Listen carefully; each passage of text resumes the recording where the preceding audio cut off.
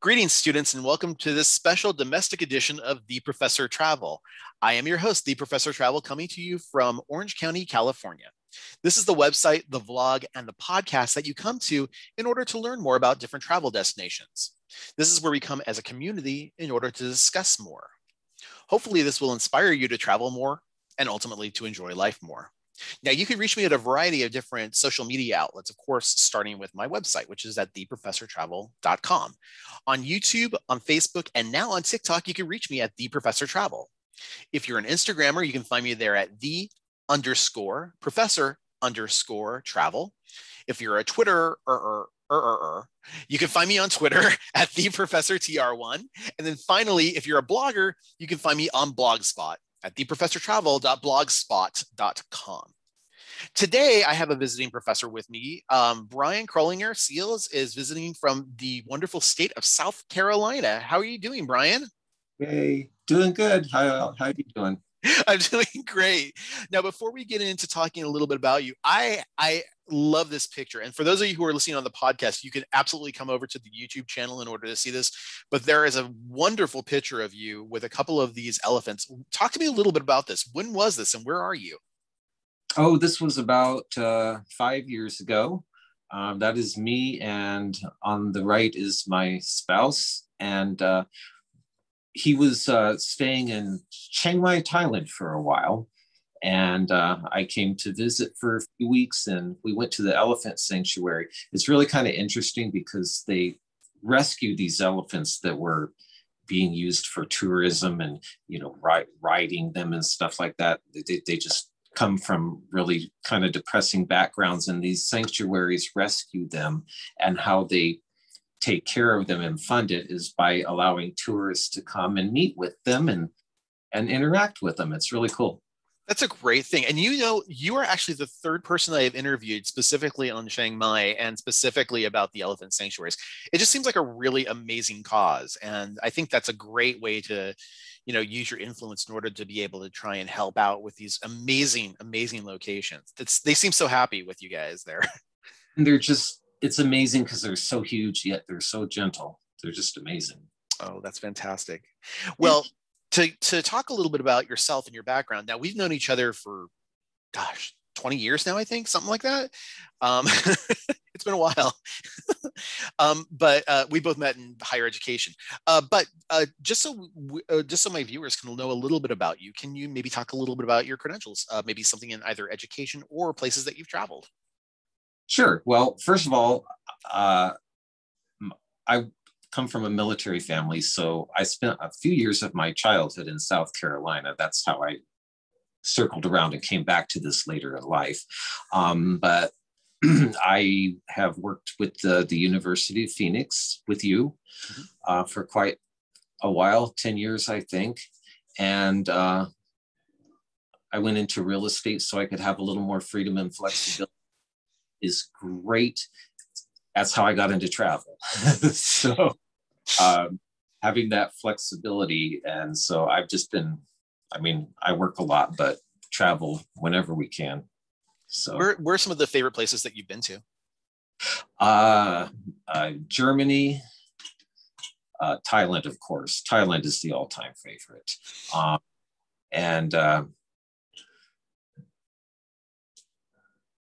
I think that's it pretty much. Thailand is my favorite. Germany would be my second favorite.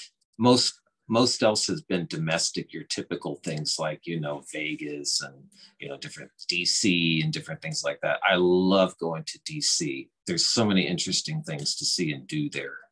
Yeah, and you do a you did a wonderful train trip. I saw a picture of it on your Facebook. Um, starting actually from South Carolina, going all the way to DC on the East Coast. Is that correct?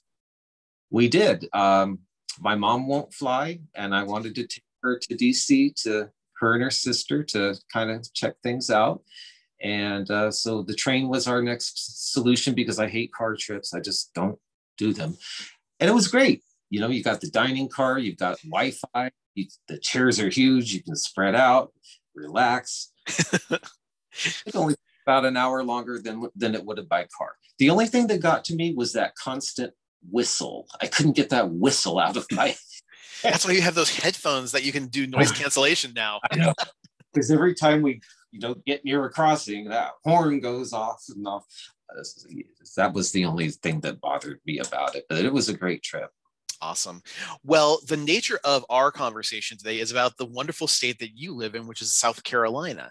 So I know virtually nothing about South Carolina. So maybe you can share some of your incredible knowledge with me about about the state you live in.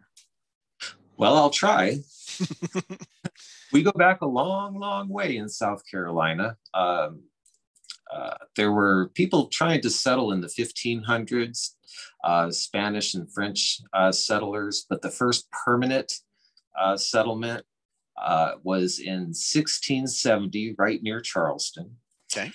Um, and uh, I don't know if people know this or not, but Charles, I mean, Carolina used to be one, not North and South. And yeah. Carolina decided, South Carolina kind of has a thing about relationships. They're not real good. So they wanted to leave North Carolina. so they did so in 1729. Okay. Uh, South Carolina was important during the Revolutionary War. There were a few important battles uh, in the state.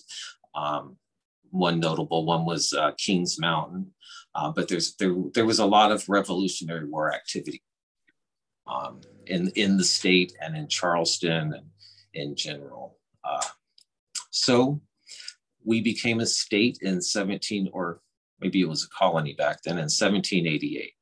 Mm-hmm.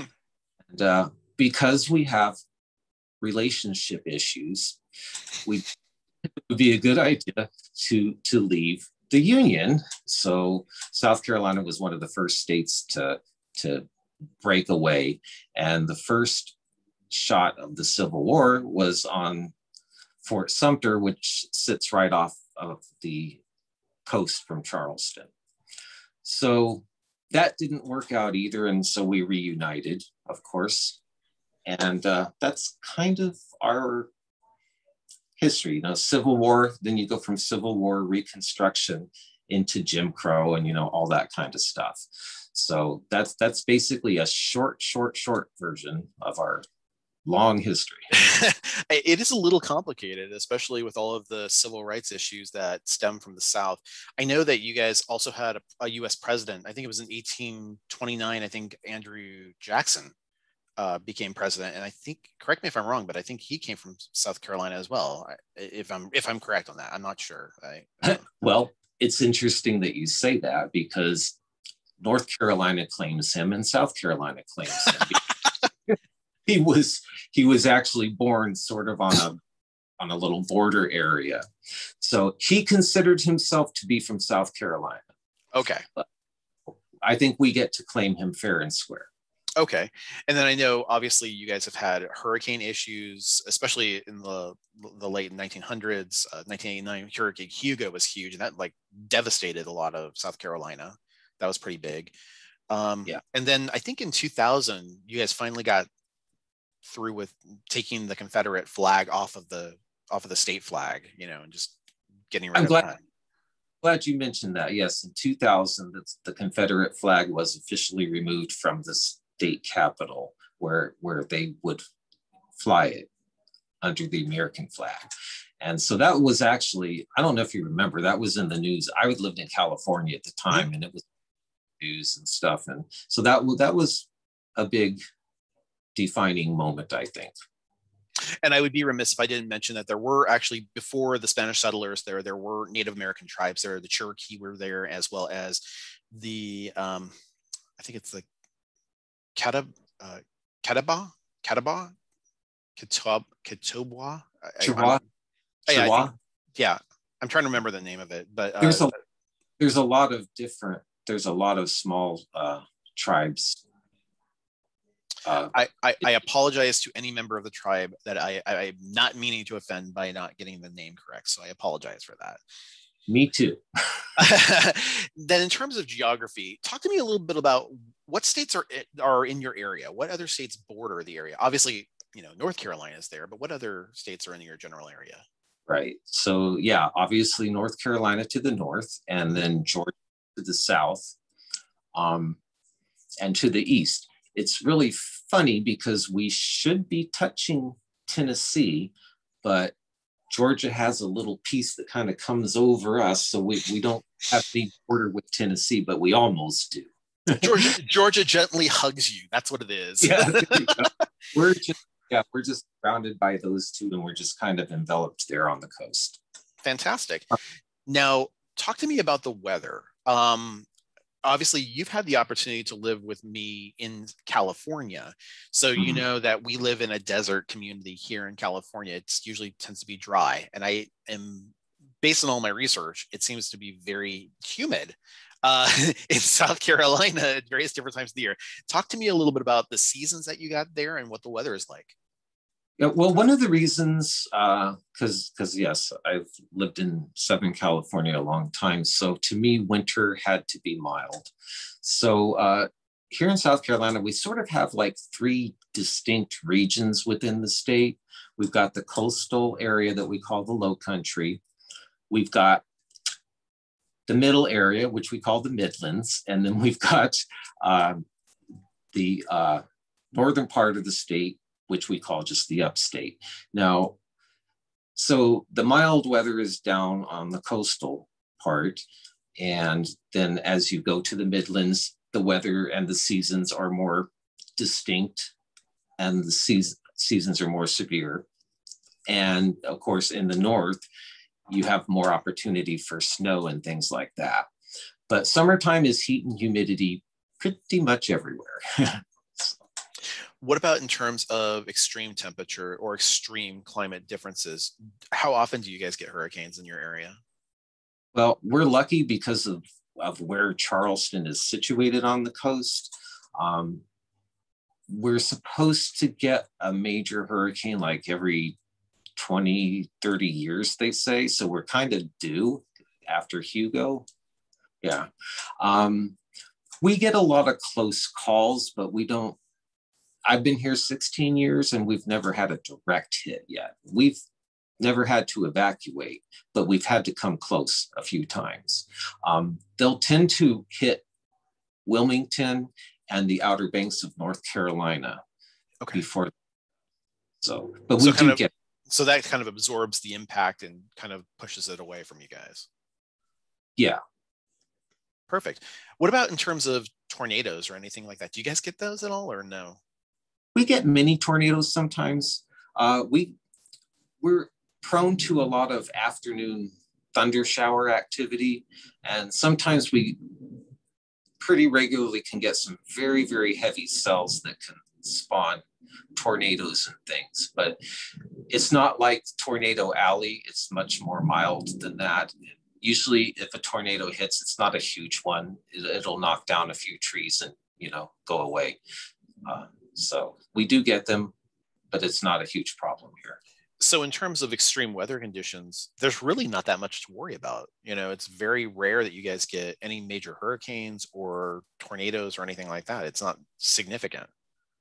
No, no, um, not really. The tornado threat, I mean, it's there and it worries us a little bit every year, but we haven't had any major devastating activity for a long, long time.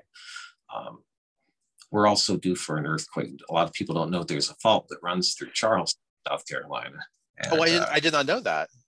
Yeah, they had a major earthquake in the 1800s. Sorry, I got to plug in. I'm going to be losing power here. That's okay. Well, uh, yeah, in the uh, in the 1800s, there was a major earthquake and it destroyed a lot of the buildings in Charleston. It was pretty bad. And they say we're due for that one too, but you know how that is. well, yeah, I live in California. Obviously, we we've been expecting the big one for the last 35, 40 years, something like that. So yeah, yeah. But in in the majority of the state, in the Midlands and the uplands, I mean, they don't even really have to worry about hurricanes. It's just coastal that has to worry about that. So no, there's really not a lot of weather drama in South Carolina. That's cool. All right. Well, let's break into some culture then, shall we? Um, so, in terms of the uh, religion within the area, the there is a predominant religion in South Carolina, and that tends to be Southern Baptist. Would you agree with that? Mm-hmm. Okay. Yeah, that and um, yeah, Southern Baptists and Protestants. Those are the biggies here. Okay. Then, in terms of art within your area, and when I think about art, I think about everything from literature to um, fine arts to acting, singing. Um, just some people that I happened to come across. Uh, Bill Murray uh, is from South Carolina. The Godfather of Soul, James Brown is from there. Of course, Black Panther, Chadwick Boseman, amazing actor, taken way too early. Uh, he was from there. Stephen Colbert um, is from there as well. Uh, you said there's also someone that's kind of local to your area that's a famous person as well, correct? Oh yeah, yeah. Uh, Darius Rucker from Hootie and the Blowfish. That's awesome. Or, born and raised here, still lives here. That's awesome. He's, um, he's, a, he's, a, big promoter in the area. Okay, fantastic. Uh, is there anybody else that I'm missing in terms of artists or even fine um, artists? I don't know uh, if this. Have you heard of Pat Conroy, the author? I have not, but tell me a little bit about Pat. Uh, he wrote The Great Santini. He wrote The Prince of Tide. Um, those were his those were his biggest. And of course, both of those movies, both of those books were turned into movies that were actually shot in South Carolina. He was, oh, yeah, he was big around here. Yeah, he passed away back in 2016, but he was a big, big figure around here. Okay, wonderful. Okay, um, and in terms of language, uh, there's not any predominant language other than the English language that's in your area. Would you agree with that? Yes, I would agree with that, with one minor exception. I wanted to talk. Uh, English is our predominant language, but because of our history, um, there's a lot of uh, outer outer islands, coastal areas where people couldn't exactly interact with a lot of other people. So there's there's a language called Gullah, which most people used to just call consider it gibberish, but it's actually like a, a Creole English language. And they do have some of their own words mixed with English. And if you hear somebody speaking it, you you can't understand if you don't speak. Yeah, Um, I've been around people that do that, that that do speak it. It's really interesting. Um, I'll give you an example the word kumbaya is Gullah. Oh, From wow. The, yeah. It means kumbaya, it means come to me. That makes perfect sense. And you think about kumbaya. Right? Yeah, exactly. Come to me, my Lord, come to me. Yeah. yeah. So it, it, it's it's a little interesting subculture. Now, most people don't speak it. It's a very, very native, limited thing but they're trying to keep that culture alive and trying to keep that language alive. That's fantastic. I'm glad that they're working for preservation of it. That's amazing. So yeah. good job on that. Yeah. Now, can we can we break into my favorite subject, which is food? Um, I'm kind of a foodie. Most of my people know it. They've seen my profile. So, um, but you know, some things that I happen to notice when I'm doing research on the various different foods in South Carolina um, you know, barbecue and Southern food are really big there. Boiled mm-hmm. peanuts appears to be a thing there. Um, that's another thing as well. Um, anything that I'm happening to miss, you know, what, what, what do you typically eat over there? Um, a couple of things that I discovered when I moved here that are regional favorites. Uh, one is called Frogmore stew. Um, there are no frogs in Frogmore stew. okay it's named that because it was it was created in a little coastal town called Frogmore. So, um, but it's basically, or they call it a low country boil. It's you just throw potatoes and corn and and shrimp and whatever seafood you have, and you kind of cook it over like a hot, you know, like foil boil it and cover it with foil and stuff. And then when you serve it, you just take newspaper, spread it out on the paper, and you just kind of spread all the contents out. Everybody grabs stuff. So it's it's kind of a fun thing. Uh, another kind of specialty around here is uh, shrimp and grits. Hmm. Uh, yeah, there's always controversy about who has the best shrimp and grits. So that's always fun. Love shrimp and grits. Don't that's awesome boiled peanuts, though. you are not a fan of boiled peanuts, but I mean, it is a delicacy in your area. It is. It's it's it's. I don't know if it's official, but at least unofficially, it's the state snack. And I think it is officially too. They take it very seriously. How do they vary it? You said they sometimes spice it a little bit or? Yeah, uh, they can put different seasonings in there. Sometimes they'll make like really hot, spicy boiled peanuts or, you know, just, just different, um, different flavorings and stuff to give it a little more character. I find it ironic because I like peanut butter, but the thought of a boiled peanut doesn't really do it for me. No, I I, I tried. I can't. more more power to the ones that love it. More for them. Awesome. All right. I would be remiss if I didn't mention sports and recreation in your area. Obviously, uh, Carolina Panthers, big sports team. Uh, they've they've made it a couple of times, I believe. Um, and then, of course, uh, University of South Carolina, the Gamecocks have their rivalry with uh, the Clemson Tigers. Um, right. But apart from that, any other major sports that I'm forgetting or not mentioning that come to mind for you? Well, we don't really have any professional sports around here. It's mostly college in our state. Uh, golf is, I'm very big here. I mean, golf is like the thing. This is Carolina is just golf, and uh, golf and football, basically. Makes sense. And then, mm-hmm. were there any state holidays for South Carolina that I'm missing? I, I didn't see any. You know, I have not run across any in the time that I've lived here. So I Googled it and I couldn't find any. So I have to say no, nothing that I know of. I'm sure a local that's that's family goes back three years might know of something, but nothing that celebrate on a major scale. You know, I was going to ask, are there any um, like fruit or vegetable festivals or state fairs or anything that's like really big that comes down to your area? Um, well, we have the state fair, kind of like every, it's pretty, you know, kind of like every state fair. Um, there's a lot of, uh, a lot of, um, what do you call it? Festivals, like they'll have a, a restaurant festival or uh, where they'll get different groups together to highlight their hmm. foods mm. and stuff like that. Um, Charleston, if you're a foodie, uh, you would love. I, I, I have to go then. it's my all thing. about yeah, but no, nothing really other than that. Okay. Oh, we do have. Um, well, um, I could mention maybe this would be a good place to mention the Spoleto Festival. That's a very. I'm sorry. Um, the what? The what festival? It's called the Spoleto Festival. Um, it's once a year. It's a big event here. Um, they have a lot of um, operas and plays and different kinds of things like that, art displays and things of that nature. And it runs for a couple of weeks, and it, it's become quite a quite a big thing in Charleston. Excellent. People, yeah, a lot of people come from like all over, way far away, to the Spoleto Festival. Sounds interesting. Mm-hmm. Thank you for sharing that.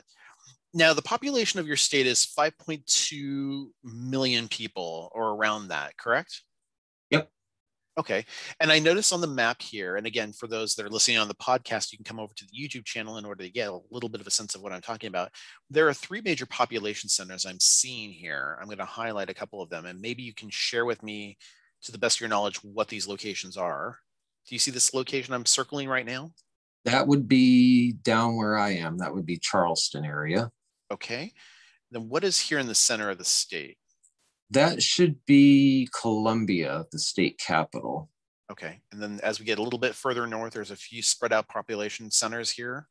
That would be Greenville, Spartanburg area. That's where BMW is. And um, right to the north of that, mm-hmm. if you cross the border, is Charlotte. Oh, okay. South Carolina, but so it's so it's kind of like so people might live in South Carolina but then travel to North Carolina in order to work or something like that. Yeah, yeah, sure. Yeah. Okay, very interesting. All right, mm-hmm. and speaking of BMW, also they're a big employer that's down in your area, but so is like Michelin, Cryovac, Sunoco, uh, Medical uh, University of South Carolina, and of course Red Cross and Blue Shield of South Carolina. Um, mm-hmm. What are some other major companies or major employers that are in your area. Do you happen to know of any? Yes, um, a big one is Boeing. Mm.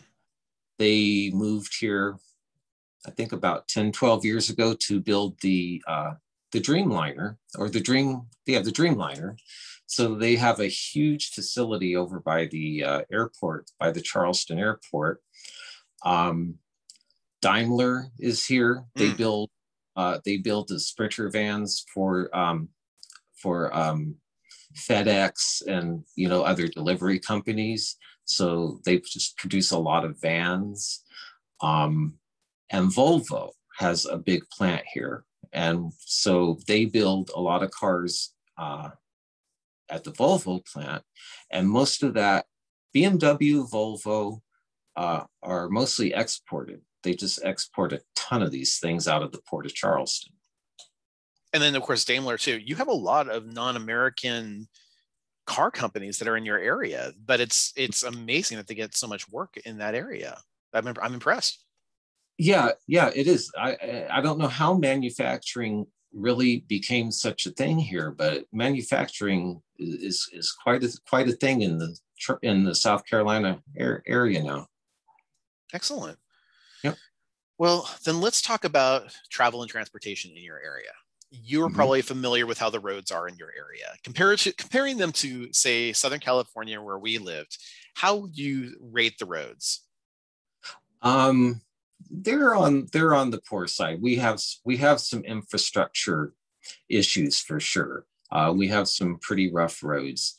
Uh, I would compare it to maybe some of the rougher streets in LA sometimes. um, so it's it's it's passable. I wouldn't say our infrastructure is necessarily dangerous, but it can be a little rough. And I notice when I drive to Atlanta, as soon as I cross the state line, the road's it's like smooth as silk. There you go. Yeah, uh, you could tell. You could tell without looking at a sign that you just crossed the state line. it's not as bumpy. Okay. Um, what about as far as major airports that are in your area? Uh, Charleston Airport is the largest airport in the state, and then Columbia has has a decent sized airport. And then, of course, in the uh, northern area, uh, Greenville has an airport. So those are the three major airports. Um, oh no, I'm forgetting one, Myrtle Beach also. Hmm. So we have four decent sized airports, Charleston being the largest uh, with the most uh, people going through it. Is Charleston an international airport or is that more of a regional airport? It is an international airport. Okay, cool. I wasn't sure, but I wanted to just double check. Here's something exciting. Until this year, you could not fly from Charleston to the West Coast without stopping somewhere. JetBlue has a nonstop from Charleston to Los Angeles. Oh, finally. it is so awesome. I, I've once greatest not to have to you know fly to a different city and change planes and you know take eight or nine hours and instead it takes like five. So i was so when they did that. That's awesome. Congratulations on that. Uh, what about now obviously you've you've done the amtrak from your from from you where you're at um, along the east coast but it, it, does go all the way up the east coast does it not yeah all the way up the eastern seaboard mm-hmm.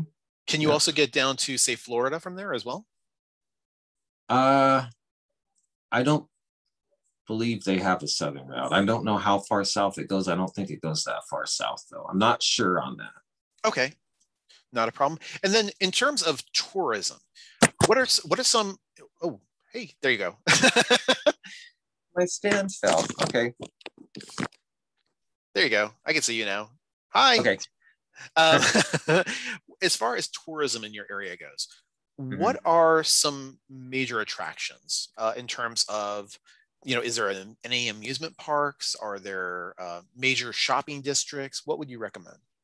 Okay, well, the younger the younger group would want to go to Myrtle Beach. You know, they've got some attractions there, and of course, they've got the beach. It's kind of like the young hip place to go hang out.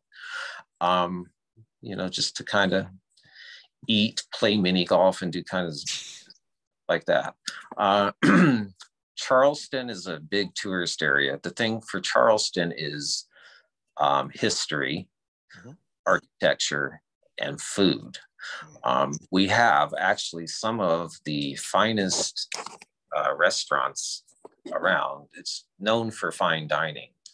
Uh, in fact, the Art Institute had a culinary school down there for a while. I actually worked at the Art Institute for a bit. And you wouldn't believe the things that they turned out. And they put that school down there because they needed very well trained chefs for these high end restaurants and stuff. So Charleston's uh, got some very, uh, very good eateries and not only high end there's a lot of good food you know just your basic fried fish and chips and stuff like that you know every, everything in between. You were you were not joking when you said that you really need to be kind of a foodie in order to live in that area. It, it, it is a foodie town. And then of course um, golf is the other thing that attracts a lot of tourism and they'll tend to go down to like uh, hilton head island and places like that for the for the golfing. Um, midlands and the and the um, upstate there's really nothing there for tourism. Most of it is down here in the low country along the coast. Uh, there is a, a, amusement park called Carowinds, which is kind of on the North Carolina, South Carolina border. That would be the closest true amusement park that we have. Okay. Um, yeah. But you also have, if I'm remembering correctly, and I think you guys you guys do have a cruise port like if, if like I, if I wanted to take a cruise to say the Caribbean or the Bahamas, I think mm-hmm. you guys do have a cruise port there, correct? We do. We have a cruise terminal. Um, we have a huge shipping port, and um, right there with it is uh, the the cruise ship terminal. Um, and they actually started allowing more more ships in there to kind of dock and stay a while. And uh, it caused a lot of controversy. But yeah, you can take a cruise. You can take a cruise out of Charleston to the Bahamas and everywhere. So, yeah. You ever been? I have not. Okay. I just I wanted to know if you had or had not because I would I'd love to get a recommendation in order to see how that see how that whole thing goes from your location. Can't help you with that one. That's okay.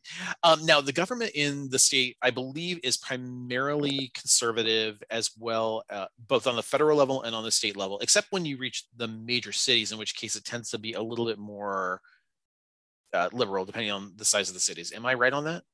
Yep, that is exactly correct. Uh-huh. And uh, Charleston is probably the most liberal city you're going to find here. And it's, I mean, it's still somewhat conservative, but it's about as it's about as liberal as you're going to find around here. Uh, the rest of it pretty conservative, but you know, people are generally just pretty kind and they don't seem to be too judgmental and everything like that. So everybody seems to get along pretty well. Um, it's just a conservative state. Let, let me ask you a question kind of off the books here because it was one that we didn't discuss, but I'm kind of curious. Um, the whole concept of Southern hospitality. Um, I, you know, growing up in Southern California, I, it's, it's a world removed from the South. So I don't know that much. Is it something that's like still in effect? Would you say, is it still something that's prevalent to your area or is it something that is kind of an, kind of like a bygone type era type thing? I'm kind of curious. I'd have to say that's kind of a bygone type of a thing. Okay. Uh, uh, our our area, like many places, has been kind of watered down with different cultures, people moving in from different places and stuff like that. Um, I think a lot of us try to carry that tradition. Like I'll wave at my neighbors when I'm passing by. Most of them will wave and smile back. Some will not eye contact. So I don't. But uh, Southern hospitality, as far as tourism and when you go to restaurants and hotels and stuff, uh, you'll find it there, of course. Um, you know, they, they're just very welcoming and very helpful people. Wonderful. Now, when I was doing research on some of the resources in your area, I was coming up with things like, in terms of natural resources, I was coming up with things like date palms and rice. But you also mentioned another type of major resource that's in your area, and that was lumber, correct? Mm-hmm. Yeah, there's uh, there's a lot of lumber mills here. They uh, they farm lumber here. You know, they'll they'll cut down the trees and then they'll plant new trees, and they've got they've always got you know rotating acreage out in the middle of nowhere and so they do uh, uh, we there's a lot of lumber comes from this area excellent all right and then in terms of education you have a couple of colleges that have been there for many many many years obviously the ones that initially come to mind university of south carolina has been there since 1801 uh, South Carolina State's been there since the late 1800s, 1896, and then of course the Citadel, uh, which has been there, you know, and is a major military installation, has been there mm-hmm. as well. Um, other colleges, uh, you know, uh, Clemson obviously is one that comes to mind. Uh, any other major colleges that you can think of that are prevalent in South Carolina? Uh, MUSC uh, Medical, um, they're they're very big and they have a great reputation. Um, there there's an older college in downtown Charleston. It's just the um, it's just the College of Charleston, but it's it's very popular. Um, it's nice because it's in a lot of old historical buildings and things like that. So it has their campus has a lot of character to it. But other than that, I think that pretty much covers it. Okay. And then in terms of the literacy rate, um, it, it, not really where we want it to be, but it's been improving, it seems, over the last several years, correct? Yeah, that's right. It's about 85% right now. Which is um, not bad. I mean, compared to other countries, you know, it's it's fantastic. But right. um, it started like like when we started tracking it in the 1960s, I think it was somewhere like even in the 70s, it was like the 65 65 yeah. yeah yeah like 65 and then it went up you know to the 70s now we're up to 85 so we're making progress. Uh, our education system i mean if you're moved nobody's going to move here for the education system let me put it that way. Um, we're kind of ranked like 48th in the nation. Mm-hmm. um, and so they're you know they're working on it there's some good schools here there's some good private schools and things like that but overall um, it's it's pretty low okay what about in terms of safety and security obviously when i think of major foreign and domestic terrorism threats unless you really count something like this the start of the civil war uh, which is obviously a major terrorism act um, Little thing. Yeah, yeah. yeah. Uh, but apart from that, I don't think of any major you know modern terrorism threats that come through South Carolina? Anything that you've thought of or you've heard of? No, there's really not any terrorist uh, threats. There was a there was a prison where they were talking about you know uh, locking up some of the people from Guantanamo, and we were worried about that. Um, but if they did it, they kept it very hush hush because nobody's talking about it anymore. I don't think they know what goes on in that prison. There's probably some very high level terrorists over there. Well, it's a, su- it, it's a super max, right? It is. Yeah, okay. they're not getting. They're not getting, and they don't want anyone to know where they are or who they are for sure. Probably wise. Um, we have, then, oh, sorry. Go ahead. We have, yeah, we have a big military presence here, so I mean, unless a military base would be a target or something like that, but I don't think those typically are, you know, domestically anyway. So I, uh, we don't really have any major threats to worry about on that front. Okay. And in terms of major crimes in your area, I mean, obviously, whenever you're traveling, you want to use your you want to use your brain. You don't want to go down a dark alley at night or whatever you know in in in, in any city let alone a major city.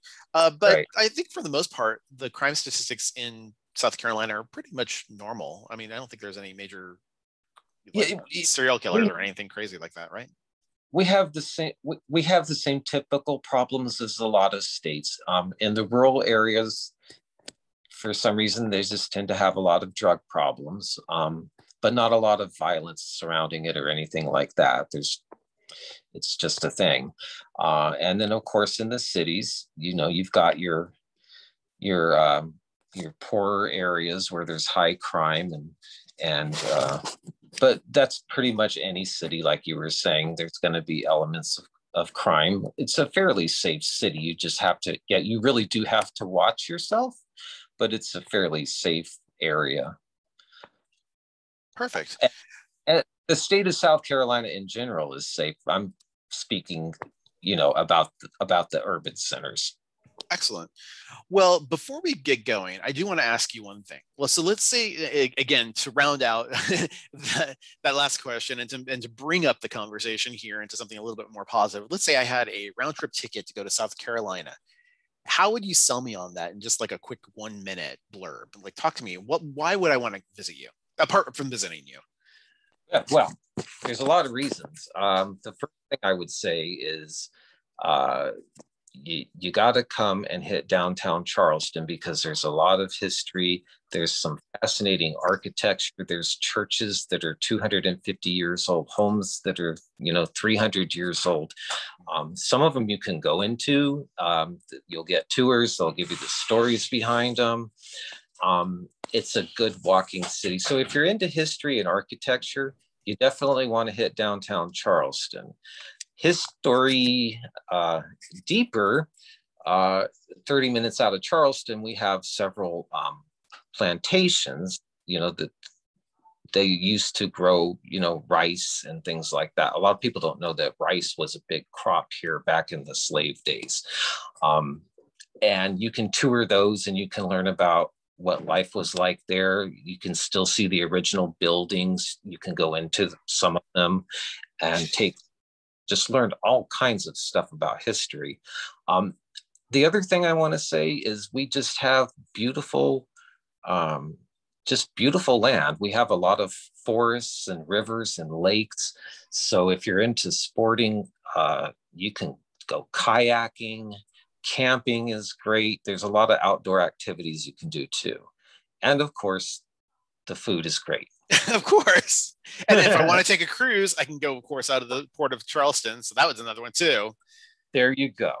So I will have to, I'll have to, I'll have to stop by and, and see you before I head on a cruise from there to the Caribbean. So there's a lot of really good reasons to visit Charleston. When I first came to Charleston, I was just going through on my way to Savannah because I thought Savannah was the bomb. Mm-hmm. And I actually wished I had spent more time in Charleston. So the next time I came back and spent time in Charleston, there's just a lot to see and do. And it's awesome. beautiful. Yeah. Well, Bryan, I wanted to thank you very much. I know we've been trying to get together for a while, and I really appreciate you taking the time to speak to myself, my students. I, I've learned a lot today, so I really appreciate you taking the time to do that. So thank you so much. Well, good. It was fun. I enjoyed it. Awesome. Thank you.